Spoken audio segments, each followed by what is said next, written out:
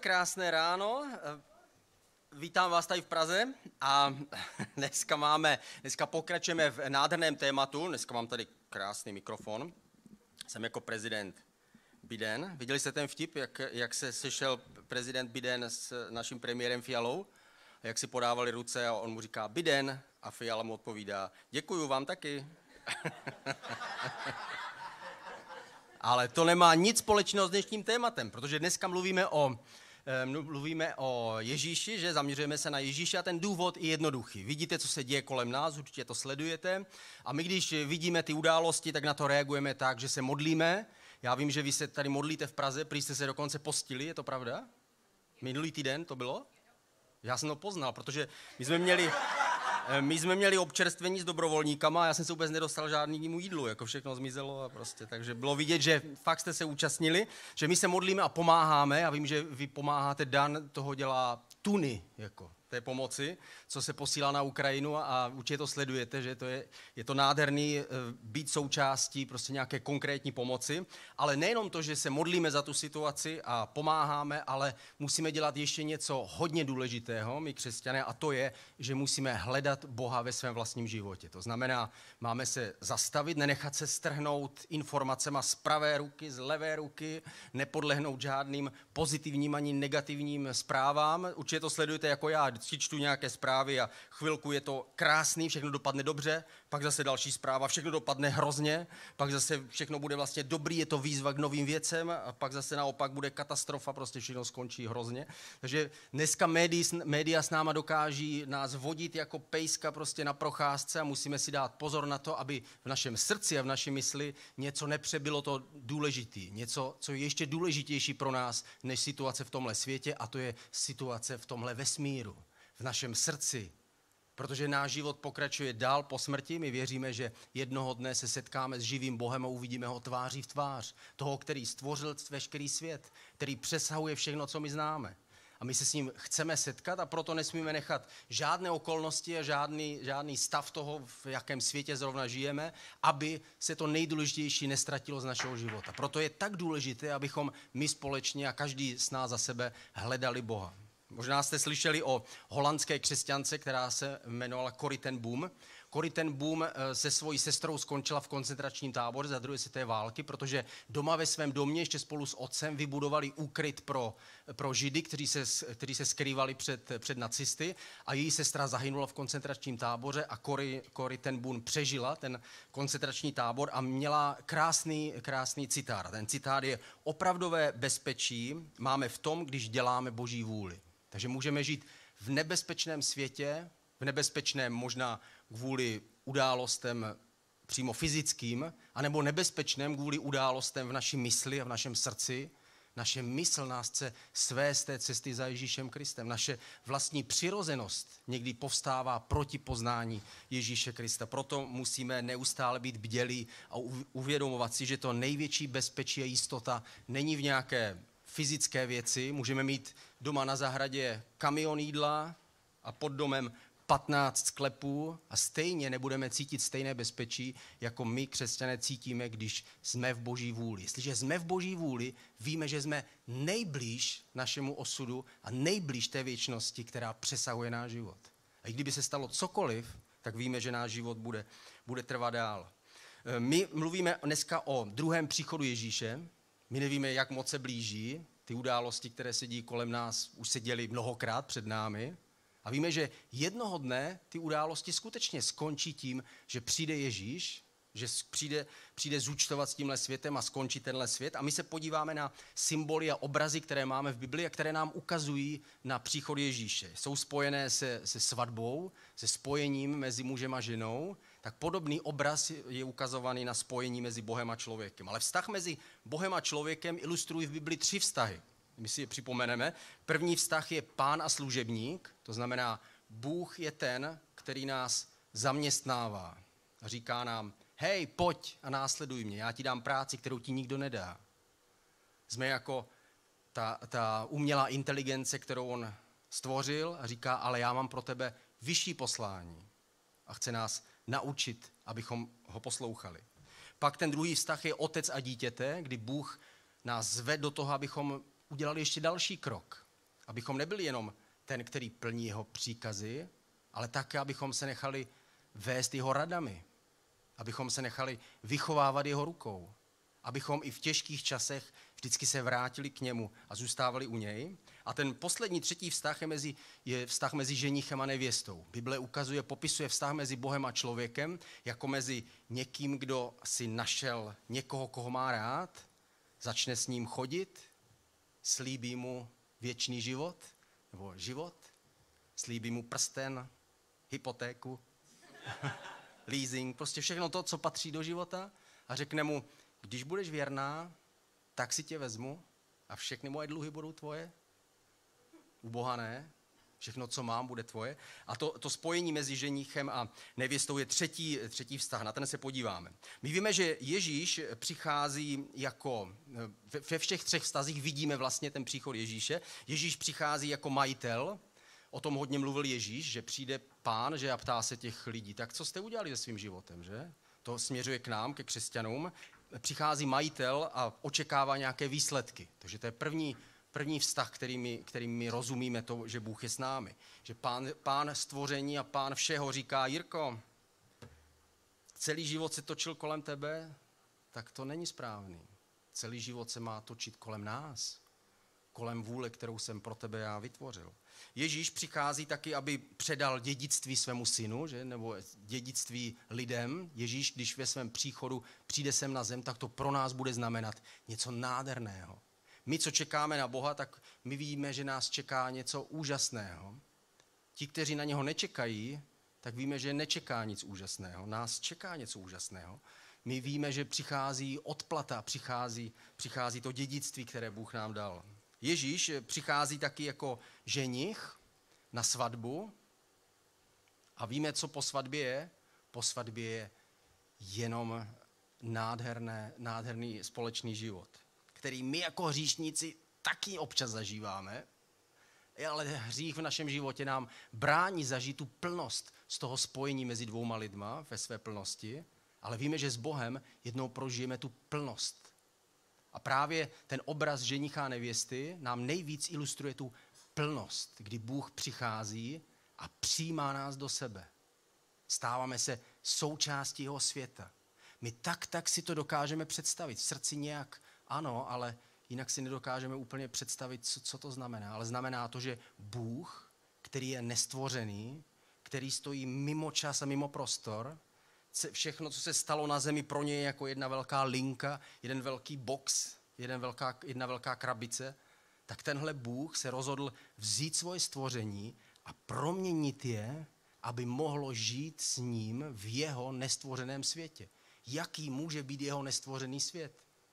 Nevím, ale bude to víc, než si dokážeme představit a než dokážeme pojmout.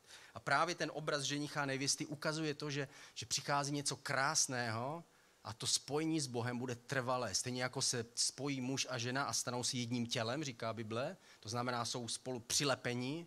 Když je roztrhneme, tak to nebude bez bolesti. Když se žena a muž spojí, tak to znamená, že, jsou, že se stávají jednou bytostí, nějakým způsobem zvláštním. A stejné se to stane, když se, když se jednoho dne spojíme s Bohem.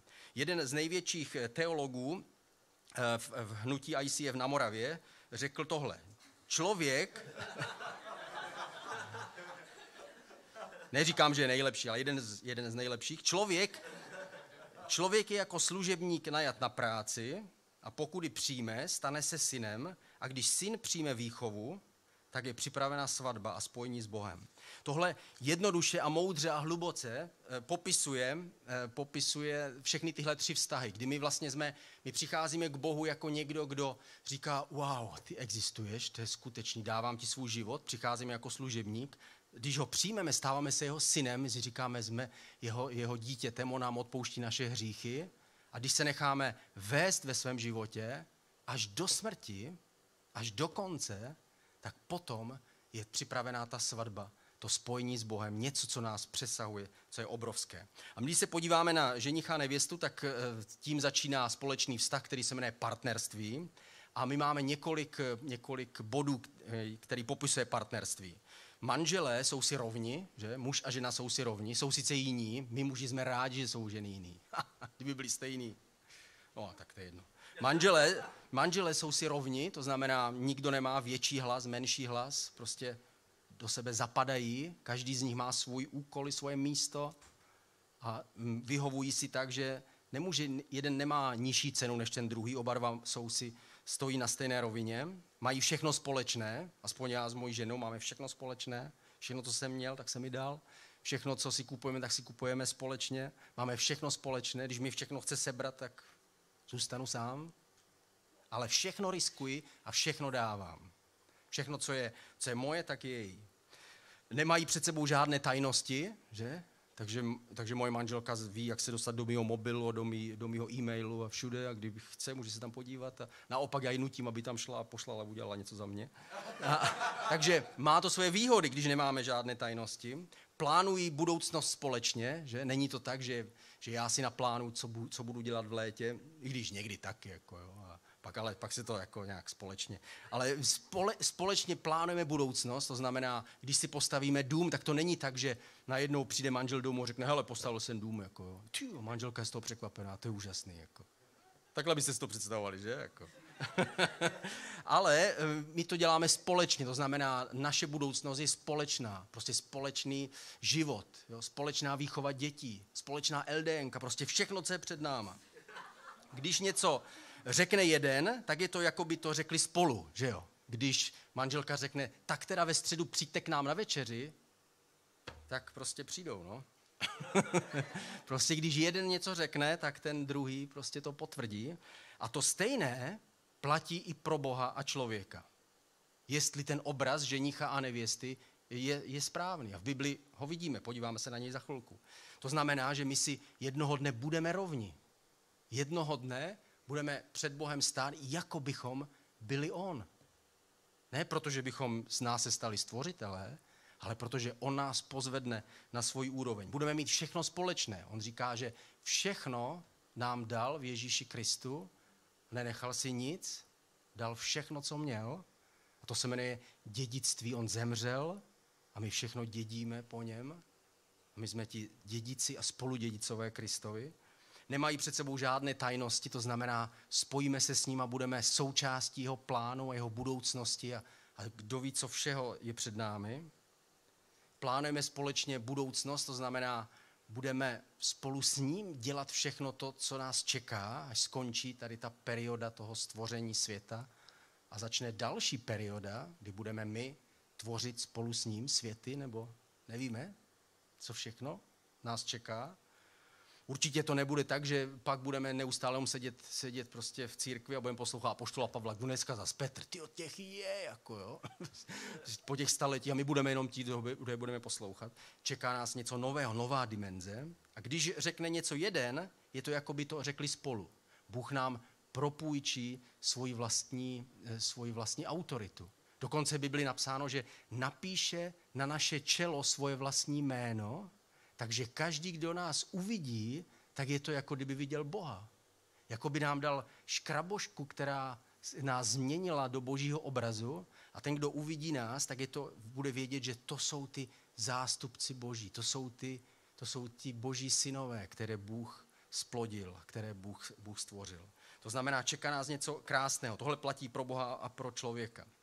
Ale víme, že dnes to ještě není splněno. Víme, že dnes nejsme ještě tak daleko, Víme, že služebník musí být věrný celý svůj život. V knize Ezechiel je napsáno, že každý nese svůj vlastní úděl. Netrpíme za své rodiče, každý přináší svůj vlastní, svůj vlastní cestu a své vlastní skutky před Boha. Každý je zodpovědný za to, co udělá. Nikdo nemůže vzít jeho zodpovědnost. To znamená, my musíme být věrní až do smrti, abychom si neustále připomínali, Bože, kde jsem já, kde seš ty, co si přeješ, abych pro tebe dělal, jaká je tvoje vůle.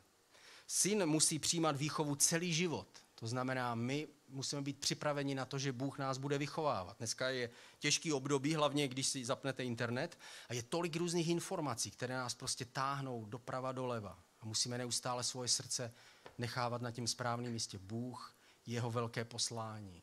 Bůh je se mnou. On chce, abych šel do celého světa, kázal evangelium aby lidi byli zachráněni. To je, proč jsme tady.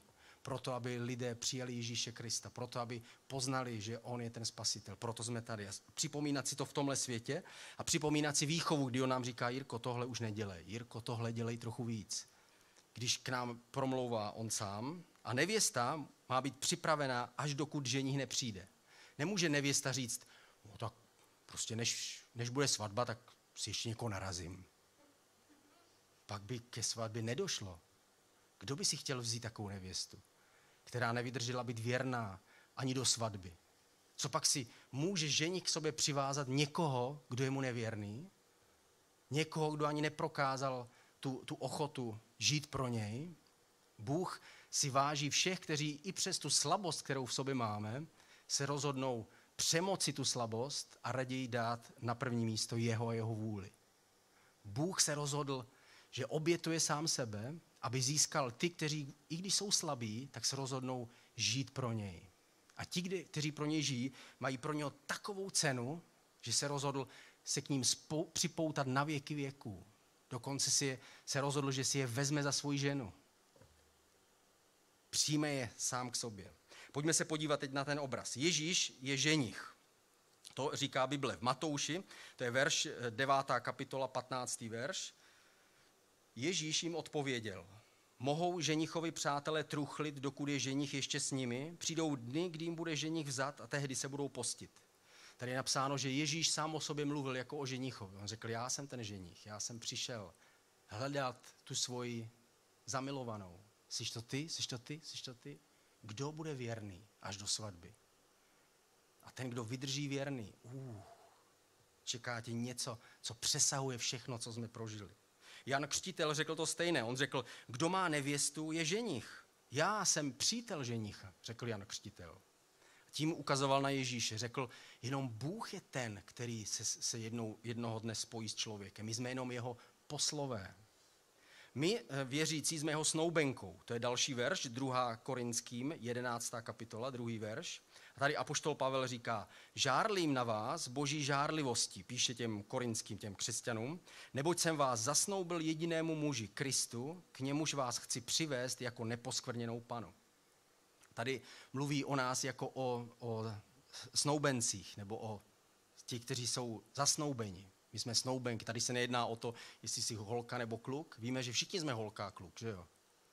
Protože na začátku Bůh stvořil Adama, pak z něho viděl žebro, udělal z ní ženu a řekl, a tohle je člověk, muž a žena.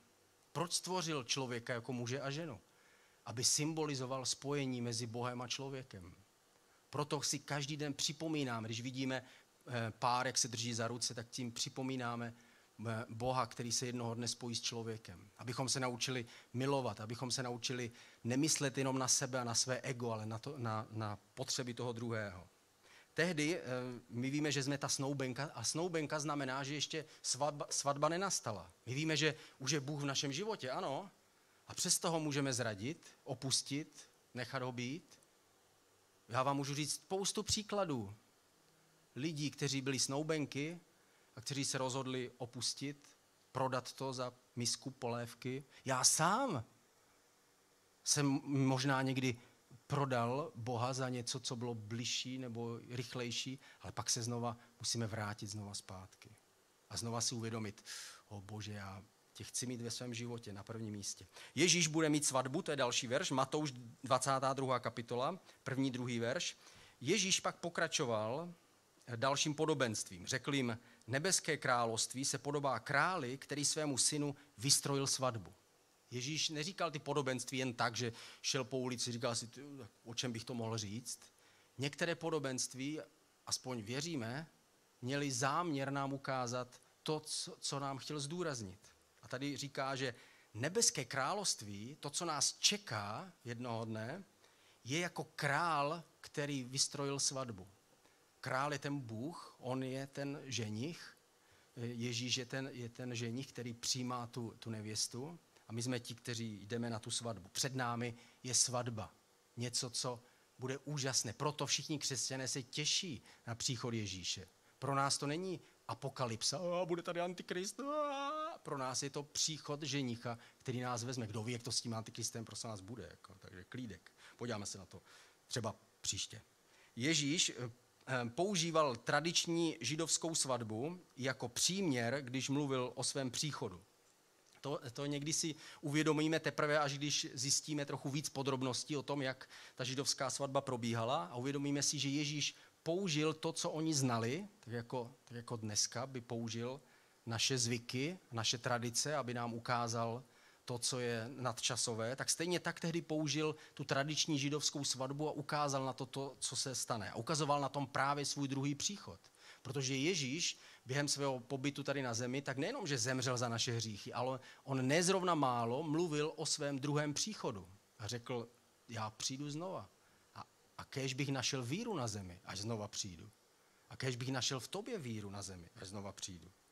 Eh, první, první, věc, první věc, kterou vidíme na, eh, na svatbě, eh, kterou měli židé, jen otec ženicha rozhodoval o datumu svatby. Marek 13. kapitola, 32. verš. Ten den a hodinu však nikdo nezná. Ani andělé v nebi, ani syn, jedině otec. Tady oni všichni rozuměli tomu. V, židovském, židovské svatbě to bylo tak, že jenom otec měl právo rozhodnout, otec toho ženicha měl právo rozhodnout o datumu, kdy ta svatba bude. Je, tehdy se oni poddávali svým rodičům. Dneska už to tak není. Dneska žijeme ve větší svobodě a individualismu a, a ta zodpovědnost je větší na všech lidech. Ale tehdy tu zodpovědnost víc nesli rodiče i za svoje, za svoje dospělé děti. A jedna z věcí byla, že svatba byla, rozhodnutí datumu svatby bylo na straně eh, otce toho, toho ženicha. A když Ježíš řekl, že ani on neví, kdy teda přijde, že ta hodinu zůsta, ta hodina je u otce, tak všichni věděli, aha, tak to je jako při té svatbě. Další věc, která byla spojená s židovskou svatbou, bylo, byla taková zvláštnost, že právě o půlnoci přicházel často ženich pro nevěstu. Přišel ten datum a to byla taková, taková eh, svatba byla velká slavnost, že lidé, když neměli eh, internet, tak tehdy měli slavnosti, takže ty slavnosti byly velký, prostě nemohli se radovat jenom sami v posteli jako my teď, ale potřebovali se sejít a radovat se společně. A tady on přicházel o půlnoci. Je to v Matouši 25. kapitola 6. verš. Tady Ježíš znova na to ukazuje. Říká, o půlnoci se strhl křik. Ženich je tu, jděte mu naproti. Tohle je příběh o těch, o těch eh, deseti družičkách, kteří, které měli se připravit na svatbu. A Ježíš tady říká, a o půlnoci se strhl křik a přišel ženich. Vždycky, když jsem to četl, tak jsem si říkal, o půlnoci, hm, tak Bůh může všechno, jako prostě. Půl, proč o půlnoci, jako? Ale pak, když zjistíme, že to bylo součástí židovské svatby, tak z toho chápeme, že lidé tomu o to víc tehdy rozuměli. Další místo nacházíme v 1. tesalonickým, 4. kapitola, 16. verš.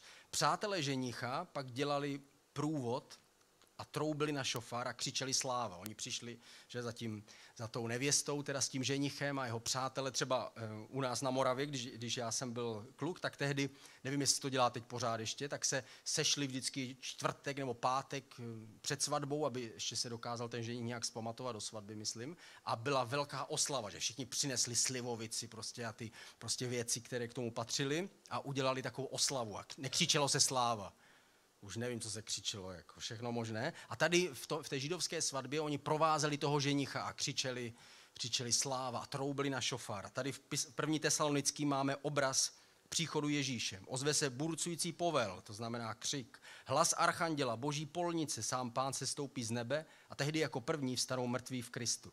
A tady vidíme další obraz té svatby. Že svatba není jenom, že Ježíš přijde, ale on promění lidi, kteří na něho budou čekat aby byli jako on a mohli skutečně s ním být spojeni. Takže to, ta svatba je zároveň obrazem vzkříšení, který v Ježíši Kristu nás čeká. To vzkříšení není jako, že všechny pupínky se ztratí nebo něco. Vzkříšení je ještě daleko víc. Vzkříšení znamená, že naše tělo a naš, naše duše bude proměněná a celá se přikloní na stranu Boha, kterého jsme preferovali ve svém životě. My víme, že naše hříchy nás tlačí pořád do tu, na tu špatnou stranu.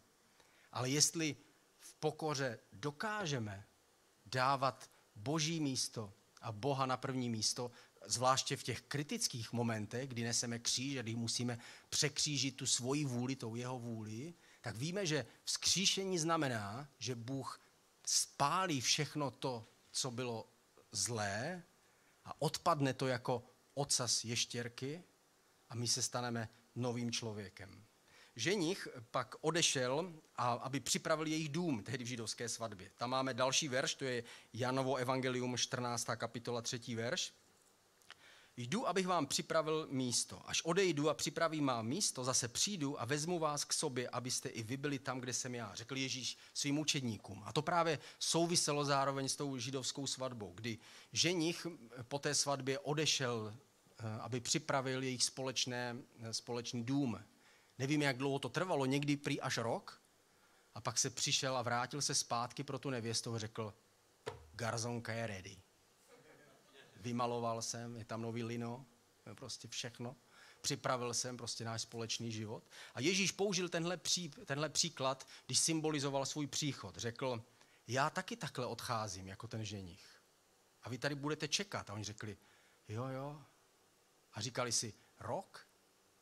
A oni řekli, rok maximálně dva. No? Tisíce let. Nakonec to bylo. Oni si mysleli, že Ježíš přijde brzo. Když Ježíš od nich odcházel, že v první kapitole knihy skutků, tak učitníci se ptali, Ježíši, to je úžasný, prostě to je úžasný. A kdy teda obnovíš to izraelské království podle proroků? A on řekl, nebojte, není va, vaše věc znát časy. Teďka odejdu a já zase přijdu. Oni řekli, jasně, přijď. A takhle tam kývají až do dnes. Protože on pořád nepřišel. On pořád připravuje dům, protože on jim chtěl říct, Hoši, já mám totiž ještě další ovce, které musím přivést. Nejenom vás. Jo, jo, my víme, ty máš ještě, musíš se ještě postarat o ty, co teďka žijí v Perzii. Jo, jo, jo, jo. Tak, hoši, vy nevíte, jaký bude svět. Já se musím postarat o Slovany. Víte, co to bude práce s nima? Slovani, jejich duše. O Germány. a tak dále. Já musím pro všechny připravit hodně místa. A pak se pak se ženich vrátil pro tu nevěstu. Ta nevěsta čekala, stejně jako my čekáme. Kdy si pro nás přijde ženich? A potom eh, nevěsta pak čekala, až si pro ní ženich přijde. To je ten krásný obrázek, kdy nevěsta čeká. A poslední verš, Matouš 25. kapitola, 10. Eh, verš. My máme být připraveni jako ty družičky. Když odešli kupovat olej, přišel ženich a ty, které byly připravené, s ním šli na svatbu. A dveře se zavřely.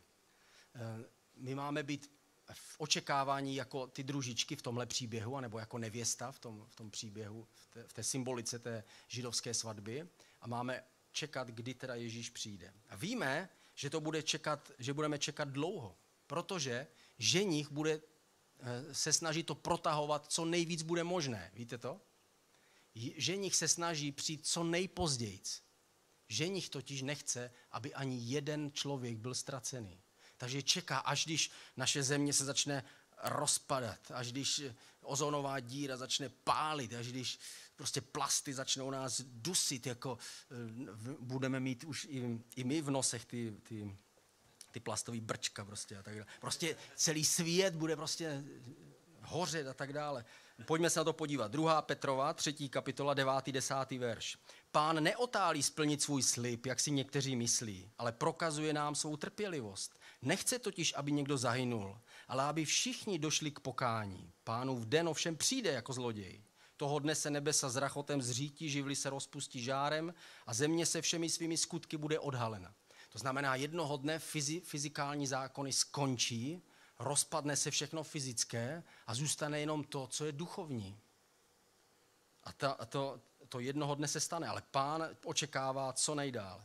My víme to tajemství, že poštol Pavel nám prozradil to tajemství v Římanu v 11. kapitole. On řekl, prozradím vám tajemství, abyste teda věděli, kdy přijde Ježíš. On řekl, až se naplní počet pohanů, to znamená, až budou všichni ti, kteří mají být zachráněni, budou zachráněni, potom on zachrání Izraela a přijde sem. Takže víte to. A my si říkáme, a kdy teda bude ten, kdy to teda bude? Nevíme, každým dnem. Nevíme, kdy, kdy budeme ve světě najednou ve stavu, kdy všichni, kteří mohli, tak odpověděli na to pozvání. Kdy on zve svoji láskou a svoji milostí. A my nevíme, kdy k tomu dojde, jednoho dne, určitě, zítra, za hodinu, za sto let. Nevíme, jednoho dne svět bude v bodu, kdy Bůh řekne tak, všechny, kteří mohli být pozvaní, byli pozvaní. Už nemůžu udělat nic víc. Pojďme otevřít smlouvu. co jsem teda napsal.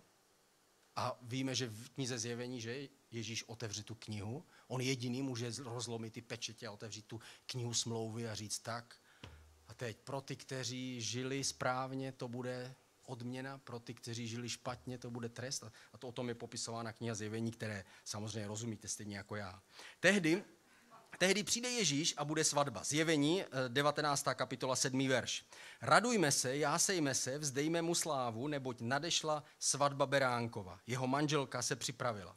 A tady jeho manželka jsme my. Ta svatba znamená, že Bůh se bude radovat, že se společně, že se společně s námi spojí. Všichni věřící všech dob budou nevěstou. Zjevení 21. kapitola 9. verš. Tehdy ke mně přišel jeden z těch sedmi andělů, kteří měli těch sedm číší plných sedmi posledních hran a promluvil ke mně, pojď, ukážu ti nevěstu, manželku Beránkovou. Ukážu ti ty, kteří přes svoje slabosti, strachy, obavy, zrady nakonec celé svoje srdce až do konce svých dnů dali svému Bohu. A podívej, pro ty beránek zemřel. Pro ty jeho krev je očištění. Pro ty je připraveno to všechno, co se stane. To znamená, že budeme duchem změněni.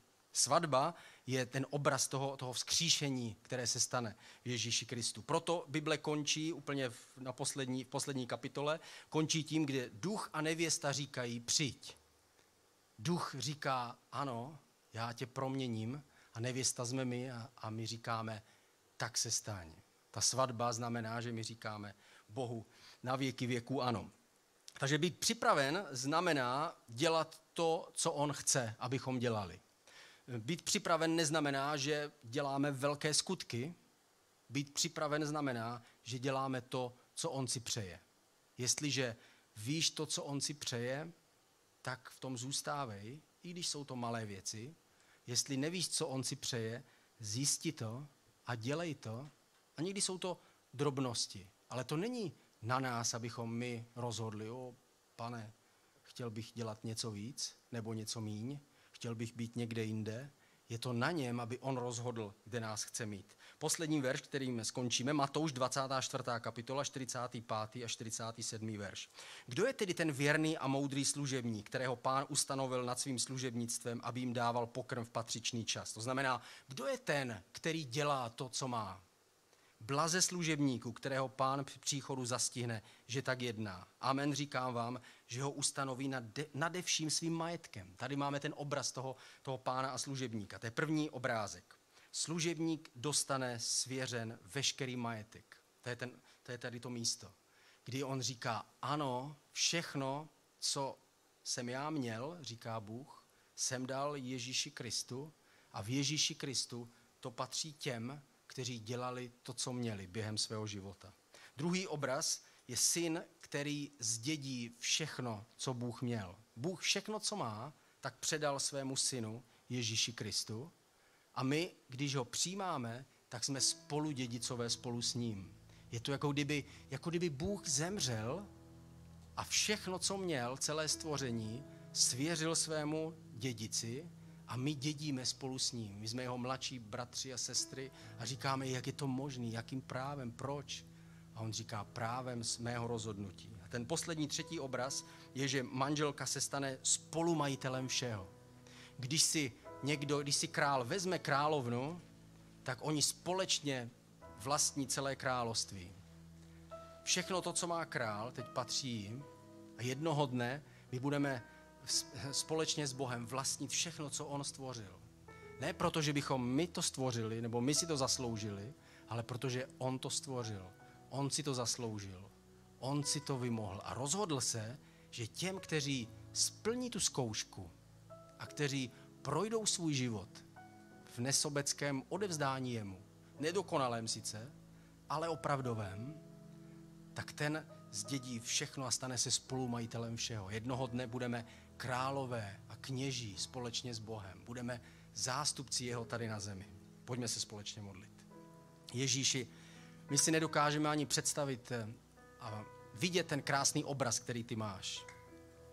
Ale my ho chceme a chceme tebe přijmout a chceme tebe následovat a modlíme se, děkujeme ti, že jsi nám ukázal, kde nás chceš mít. ať je to velká věc nebo malá, důležitý, že to je tvoje místo. A jestli nevíme, kde nás chceš mít, tak tě teď prosíme, Ježíši, ujisti nás v tom, že stojíme na správném místě. Dáváme ti svůj život, svoje srdce. Ty znáš naše slabosti naše chyby naše zrady, ale my chceme jít za tebou. A chceme být věrní až do smrti.